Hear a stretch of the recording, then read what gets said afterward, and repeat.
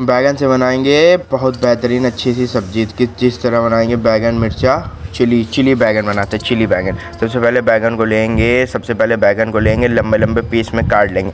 काटने के बाद काटने के बाद उसे भाप में पका लेंगे, जो मोमोस वाला आता है, उसी में रख के इसको पका लेंगे। कुछ देर मान लो पंद्रह से बीस मिनट इसको पका लेंगे। पकाने के बाद भाप में ये जब पक जाएगा तो मुलायम हो जाएगा। तब तक कि इसका मिर्चा वाल तैयार करते है। मिर्चा को नमक डाल के ढुल लेंगे। धुलने के बाद फिर इसे तेल में पकाया जाएगा। छोटे छोटे पीस काट के। कटिंग होगी इसकी अभी तक की उसको बिल्कुल अच्छे से धुल लीजिएगा, क्योंकि इसके अंदर का जितना भी है वो निकल जाए।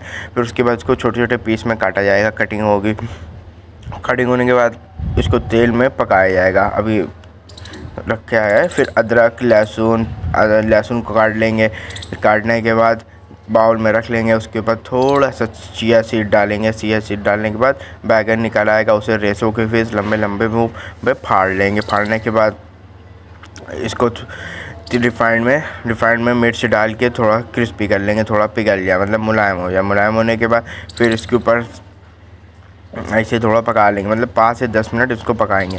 पाँच से दस मिनट पकने के बाद थोड़ा सा मुलायम हो जाएगा, मुलायम हो जाने के बाद देखिए क्या होता है फिर। इसके बाद गार्लिक डालेंगे, थोड़ा सा जो चिया सॉट हम लोग बनाई थी वो डाल लेंगे, मिला लेंगे, इसका डाल लेंगे। जब वो थोड़ा क्रिस्पी हो जाए, फिर उसके बाद बैगन डाल के, नमक डाल के और थोड़ा सा सोया सॉस सोया सॉस थोड़ा टमाटो सॉस और मिला लेंगे। अब बन के तैयार हो गया हमारा बैंगो, बैगन चिली फ्राई आप इसको खाएँगे, बिल्कुल मस्त हो जाएँगे। लाइक से सब्सक्राइब कमेंट